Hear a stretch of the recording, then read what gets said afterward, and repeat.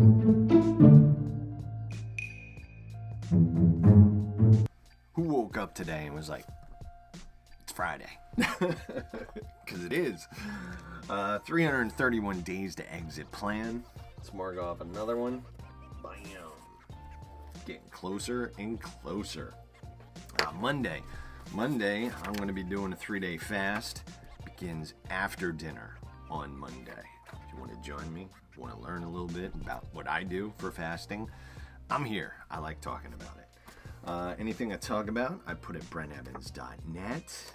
Uh, ooh, I finished one of my goals. I'm so excited. I already know that yes, one of them is done. And uh, I will definitely have a new list for Monday for my uh, five goals for the week that I can put in my little field notes journal here. And what that was, I finished a book. I finished reading this one, uh, the biography of Chris Cornell. It was a great book, great, great book, and um, uh, just just the story of of where he was, what he went through, all the music that he created, the love that he had for it, and then of course the sad, sad ending. Um, really, really well done.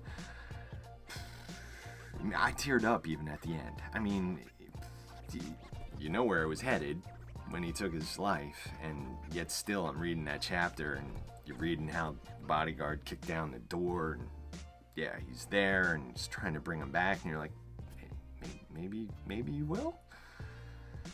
Five years. It's gonna be five years this May without Chris Cornell.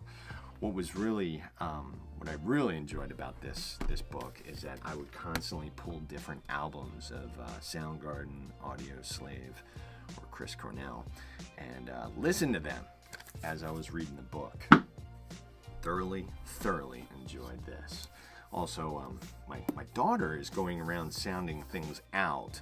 So, yeah, she it's good to get this one done and up on the shelf now because she kept asking, why is that star there? All I could say is, because he is. He is a star. That's all I could do. Um, I'm ready for some new music because, not bashing this, my son is the Tin Man in his school's production of The Wizard of Oz.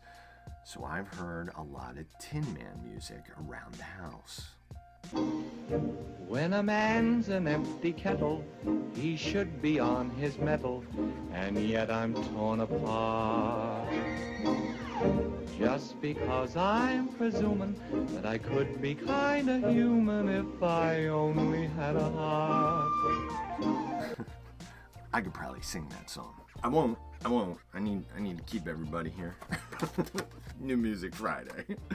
Um, buddy of mine, Bob, and uh, and business partner, he texted me the other day how he he just heard Red Hot Chili Peppers on an oldie station in Philly. I asked what song. It was Under the Bridge. I had to look it up. That song was released on March 10th, 1992. That's basically 30 years ago. 30 years ago, 1992, any song that was from 1962 would be heard on an oldie station in any city in America. We're getting old. anyway, new album from the Red Hot Chili Peppers is going to be here in April. And uh, it's Unlimited Love. You get 17 tracks. Uh, also, Rick Rubin is uh, the producer on this album, and I'm excited about this. This marks the band's first release since like 2006 with uh, guitarist John Frusciante. Um, he, he was on all the kick-ass albums, so he's, he's back for this one. Today we do get the single Black Summer. Um, I'm enjoying it. I'm still hoping for, you know, like a Sir Psycho Sexy or Suck My Kiss song, but um, I'll take it. I'll still take it. Uh, Dr. Dre released a six song EP, all of them featured in Grand Theft Auto The Contract. GTA Vice City, that was my game. I played that. Ooh, that'd be a problem. It was 3 a.m. just like that. At that point, I was like, who needs sleep. One more game. Let's go. Anyway, these songs, everyone's hearing them because it's in Grand Theft Auto, the new one and um, I can now hear it because it's on the streaming services. Because I properly don't have that game, because otherwise I wouldn't be doing this. um, I was listening to uh, gospel today with um, Eminem singing along with him. Um, by the way, Super Bowl halftime. I don't know if you've seen the lineup, but yeah, it's Dr. Dre. You also get Snoop Dogg, Mary J. Blige, Eminem, and Kendrick Lamar. All of them. I mean, last year it was like you had the Weeknd. This year, look out. Uh, by the way, talking about being heard on an oldies radio station, Dr. Dre's album Chronic, released back in 1992. That's 30 years ago. Who's putting Dre on an oldie station? I mean, it's one thing to get Flea mad at you, but get Dre mad at you. I don't know about that. Um, full album drop today from Korn. Uh, that's Requiem is out. Only nine songs. That's so close to an EP. But um, 32 minutes worth of new music. I'm still game. I'm all in. Recent single that they are pushing is called Lost in the Grandeur. Uh, FYI, Korn's debut album, Korn, was released in 1994. That's 28 years ago. Ooh, that's that could be on an oldie station too. All right, Megan Fox's fiance, Machine Gun Kelly, and Will Smith's daughter, Willow.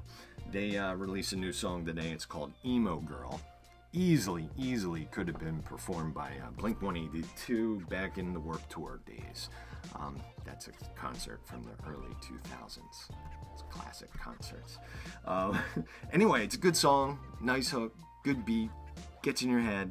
Uh, it's off the sixth studio album from Machine Gun Kelly. That's called Mainstream Sellout. That's all out on March 25th.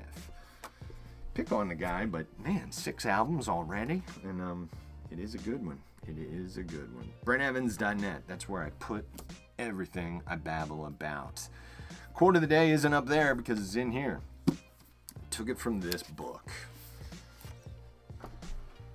Yeah, this is okay. Chris Cornell. See, you didn't read the book with me. I, I got stuff going through my head. Uh, this is from Chris Cornell's eldest daughter, Lily, on stage at a concert that was remembering Chris Cornell. this is what she said. The most influential advice he gave me was that his success did not come from a desire for success. It was more from a passion and an absolute love for what he did. Chris Cornell. Love that guy. Enjoy the now, people. Make it a great weekend. Make good choices all weekend long. I'll be back at you Monday. I'll see you then.